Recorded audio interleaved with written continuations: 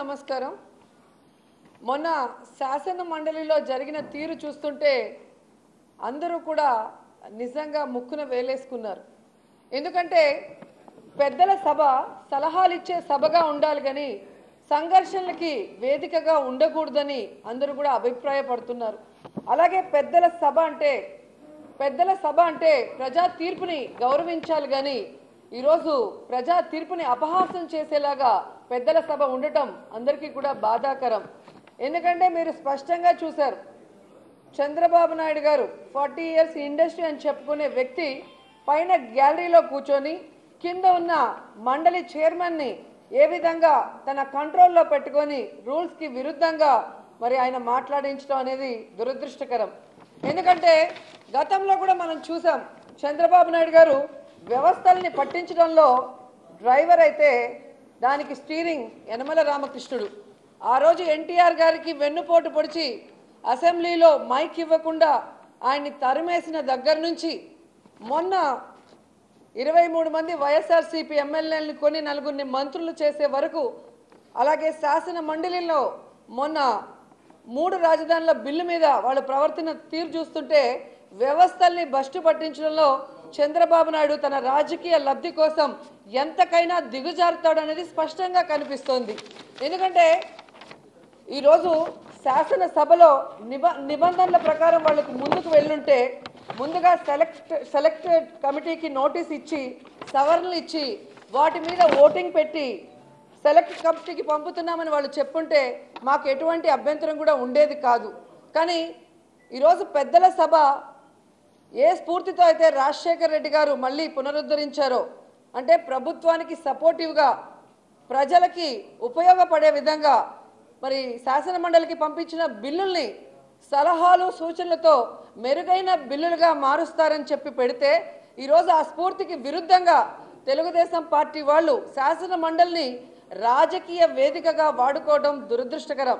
నా వరకు నా అభిప్రాయం అయితే శాసన మండలిని రద్దు చేయమని జగన్మోహన్ రెడ్డి గారిని మేము గట్టిగా కూడా కోరుతాం. ఎందుకంటే రాయలసీమ నుంచి వచ్చిన ఒక ఎమ్మెల్యేగా రాయలసీమని సర్వనాశనం చేశారు చంద్రబాబు నాయుడు. కానీ ఈరోజు నా రాయలసీమని అభివృద్ధి వైపుకు నడిపించే దిశగా ఈరోజు న్యాయ రాజధానిగా కర్నూలుని ఎన్నిక చేసిన జగన్మోహన్ రెడ్డి గారి తీర్పుని అంటే ప్రజల కోసం ఆయన చేసిన ఆ తీర్పుని అపహాసం చేసే విధంగా చంద్రబాబు నాయుడు ఆయన కొడుకు ప్రవర్తించడం ఈ శాసన మండలి ఉంటే ఏంటి అన్న ఒక ఆలోచన రాయలసీమ వాసులందరికీ కూడా వచ్చింది. ఎందుకంటే ఈరోజు చంద్రబాబు నాయుడు ఆయన బినామీలు ఏ విధంగా అమరావతిలో తమ భూముల కాపాడుకోవడం కోసం ఈ పోరాటాన్ని తమ తమ మేనేజ్మెంట్ మీడియాలో ఎలా పబ్లిసిటీ చేసుకుంటూ ఆఖరికి శాసన మండలిలో కూడా దాన్ని రాజకీయం చేయాలన్న ప్రయత్నం ప్రతి ఒక్కరు కూడా కల్లారా చూశారు. ఎందుకంటే ఈ రాష్ట్రంలోనే మీరు చూశారు. జగన్మోహన్ రెడ్డి గారు ఆరు నెలల కాలంలో తను ఇచ్చిన హామీలు ఎయిటీ పర్సెంట్ ఏ విధంగా సక్సెస్ఫుల్గా నెరవేరుస్తూ ముందుకు వెళ్ళారో. మొన్న ఇండియా టుడే వాళ్ళు చేసిన సర్వేలో కూడా ఈ దేశంలోనే ముఖ్యమంత్రుల్లో నాలుగవ స్థానంలో బెస్ట్ సీఎంగా జగన్మోహన్ రెడ్డి గారు ఉన్నారు అంటే నిజంగా అతిశయోక్తి కాదు. సో ఆయన పనితీరును చూసి ప్రజలందరూ కూడా అభిమానిస్తుంటే ఈరోజు చంద్రబాబు నాయుడు ఏ విధంగా ఆ ప్రజల నుంచి జగన్మోహన్ రెడ్డి గారిని దూరం చేయాలన్న ఉద్దేశంతో కుట్రలు పన్నుతున్నాడు. ఈరోజు ప్రజా తీర్పుతో నూట యాభై ఒక్క మంది ఎమ్మెల్యేలు గెలిచిన శాసనసభ ఒక తీర్మానం చేస్తే దాన్ని ఆమోదించాలి ప్రజా తీర్పుని గౌరవించాలి లేదా ఏమైనా చిన్న చిన్న సవరణలు సలహాలు ఉంటే ఇవ్వాలే కానీ దానిని లేట్ చేయటం అనేది ఈరోజు ప్రజా తీర్పుని అపహాస్యం చేయటమే. అండ్ ఈరోజు లోకేష్ తీరు చూస్తుంటే చాలా విచిత్రంగా అనిపిస్తుంది. బయటకు వచ్చి ఏదో సాధించేసినట్టు శాసన మండలిని రద్దు చేస్తారా? దమ్ముంటే చేయండి అంటున్నాడు. బాగా బలిసిన కోడి చికెన్ షాప్ ముందుకు వెళ్ళి తొడగొడితే ఏమవుతుందండి? కోసి ఉప్పు కారం పెట్టి కూర వండేస్తారు. ఆ విషయాన్ని లోకేష్ తెలుసుకుంటే మంచిది. అండ్ ఇంకో మహామేధావి ఉన్నాడండి యనమల రామకృష్ణుడు. ప్రజల తీర్పు ఏంటి? ఆయనని రెండుసార్లు ఆయన తమ్ముడిని రెండుసార్లు ఏ విధంగా ఓడించారో మనం చూసాం. ప్రజలు అసహించుకునే ఈయన ప్రపంచ మేధావిలాగా ఫీల్ అవుతూ ఈరోజు ప్రజా తీర్పుని అవమానించే విధంగా శాసన మండలిలో ఆయన ప్రవర్తిస్తాడు. మరి మొదటి నుంచి కూడా ఈయన ఏ విధంగా శాసన వ్యవస్థని అలాగే ఇప్పుడు శాసన మండలి వ్యవస్థని భ్రష్టు పట్టిస్తున్నారో ఈ రాష్ట్ర ప్రజలు మేధావులందరూ కూడా గమనిస్తున్నారు. ఇలాంటి వాళ్ళకి మనం బుద్ధి చెప్పాల్సిన అవసరం కూడా ఉంది. అండ్ ఈరోజు అన్ని రాష్ట్రాలలో చూస్తే శాసన మండలి అనేది లేదు. దాదాపుగా ఇరవై ఎనిమిది రాష్ట్రాలలో ఆరు రాష్ట్రాలకు మాత్రమే శాసన మండలి ఉంది. సో శాసన మండలి ప్రజా తీర్పుని అపహాస్యం చేసే విధంగా ఉంటే మరి దానికి పెట్టే ఖర్చు కూడా వ్యర్థమే అని ఈరోజు అందరి అభిప్రాయం. అందుకే అటు ఉత్తరాంధ్ర ప్రజలు కానీ ఇటు రాయలసీమ ప్రజలు కానీ మా అభివృద్ధిని వ్యతిరేకిస్తున్న ఈ శాసన మండలి అవసరం లేదు దాన్ని రద్దు చేయండి అని చెప్పి ప్రతి ఒక్కరు కూడా ఈరోజు మెసేజ్లు చేస్తున్నారు ఫోన్లు చేసి మాట్లాడే పరిస్థితి వస్తుంది. కాబట్టి ఈరోజు ఏదైతే జగన్మోహన్ రెడ్డి గారు మూడు ప్రాంతాలు సమానంగా అభివృద్ధి చెందాలి ఎందుకంటే రాజ్యాంగంలో కూడా మనకు చెప్పడం జరిగింది అంబేద్కర్ గారు రాసిన రాజ్యాంగంలో మూడు ప్రాంతాలకి సమన్యాయం చేయాలి.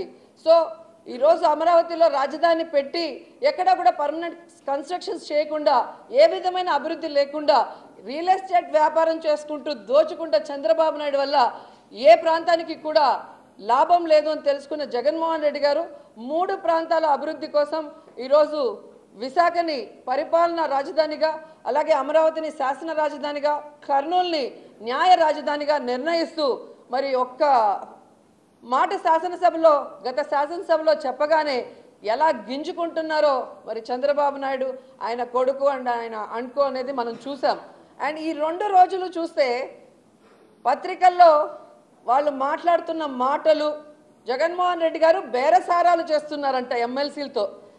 జగన్మోహన్ రెడ్డి గారు ఏమన్నా చంద్రబాబు నాయుడు అనుకున్నారండి?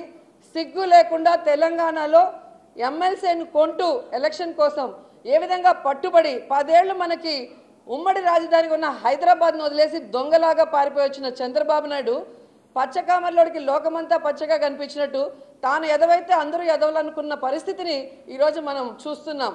ఎందుకంటే జగన్మోహన్ రెడ్డి గారు ఏ రోజు కూడా ఇలాంటివి ఆయన ఒప్పుకోడు అలాంటి కార్యక్రమం కూడా చేయడని మనం గత తొమ్మిదేళ్ళుగా కూడా చూస్తూ వస్తున్నాం. అండ్ ఈరోజు పెద్దల సభ అంటే పెద్దల్ని సభకు పంపించాలి కానీ తన ఇంట్లో ఉన్న దద్దమ్మని దద్దోజనాన్ని శాసనమండలికి శాసన మండలికి పంపించి అలాగే ప్రజా తీర్పుకి వ్యతిరేకంగా ప్రజలు అసహించుకున్న యనమల రామకృష్ణుడు లాంటి వాళ్ళని ఈరోజు శాసన మండలికి పంపించి ఆ సభ పరువు తీయటమే కాకుండా ఈరోజు ప్రజల కోసం చేస్తున్న బిల్లుల్ని కూడా వ్యతిరేకిస్తున్నారు అంటే మరి చంద్రబాబు నాయుడికి ఓడిపోయిన అహంకారం తగ్గలేదు. ఆ అహంకారాన్ని తగ్గించాలని కూడా అందరం కోరుకుంటున్నాం. ఖచ్చితంగా జగన్మోహన్ రెడ్డి గారిని ఉత్తరాంధ్ర వైపు నుంచి ఇటు ఆంధ్ర వైపు నుంచి అటు రాయలసీమ నుంచి ఈ శాసన మండలిని రద్దు చేయమని కూడా మేము కోరుకుంటున్నాం. దీనివల్ల ఎటువంటి ఉపయోగం లేదు. దీనివల్ల ప్రజా తీర్పుని అపహాస్యం చేస్తున్న ఇలాంటి వాళ్ళకి బుద్ధి రావాలని కూడా కోరుకుంటున్నాం.